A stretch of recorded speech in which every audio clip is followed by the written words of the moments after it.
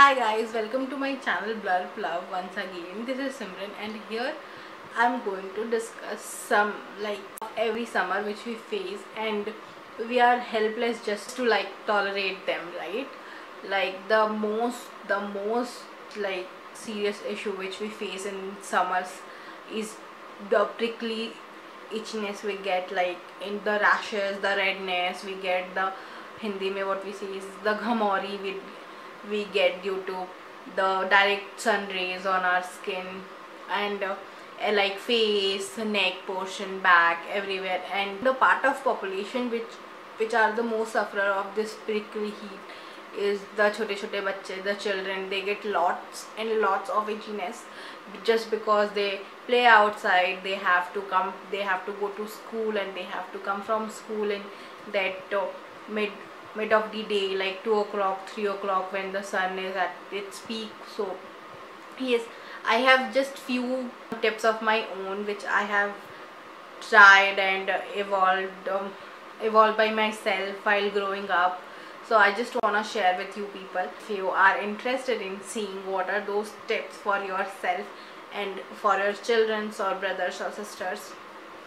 So guys just keep watching the video the first and foremost thing avoid direct rays of the sun. Just avoid direct rays of the sun. And we can do that with several ways. Like we can carry sunglasses umbrella or if if you're a girl you can carry a stole always with you. Just never ever leave your home without that. Use sunscreen daily. Whenever you are going out just don't miss the sunscreen part. And try and the next thing is just try wearing loose clothes and clothes of light color uh, which will not ob observe the heat and cotton clothes.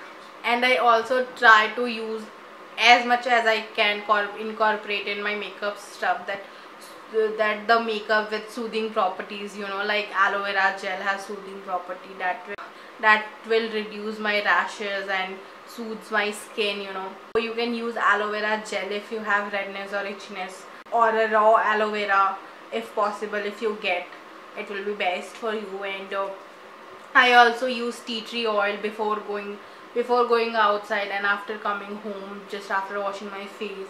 And wherever I get redness I just apply uh, tea tree oil on my face for 30 minutes and then just wipe it off with tissue or water. And the other thing is uh, Fuller's Earth or Multani Mitti has ultimate soothing property. It's a, such a natural soother for your skin.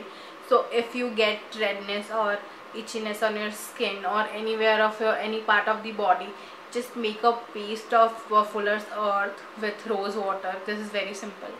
Uh, and just apply it over there. And I guess in uh, in one time or in one time only you'll see the difference because it's very effective and uh, next thing is baking powder. Yes guys baking powder? Wherever you get redness or itchiness just make a paste of baking powder and water and apply it and there in that area and just leave it for 10 to 15 minutes and just wash it with normal water and this will work wonders for your skin.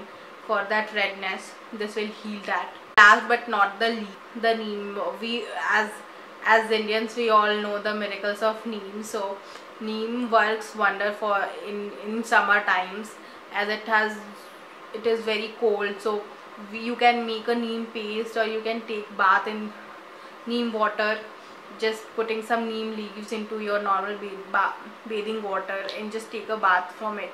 And you'll not get redness and itchiness guys.